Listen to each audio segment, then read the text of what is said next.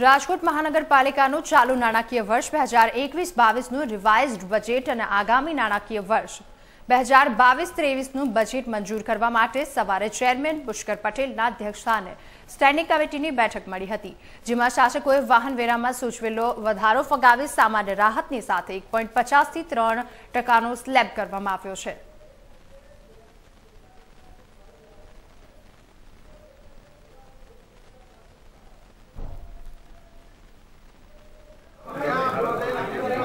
સાથોસાથ, કોઈ પણ કોર્પોરેશનના વિભાગમાં પોતાની ફાઇલ છે તો ફાઇલ ટ્રેકિંગ સિસ્ટમ બનાવવામાં આવશે, જેથી કરીને અરજદારને પોતાને ખ્યાલ આવે કે કયા સ્ટેજે એની ફાઇલ કયા પ્રકારના નિર્ણય સાથે ઊભી છે.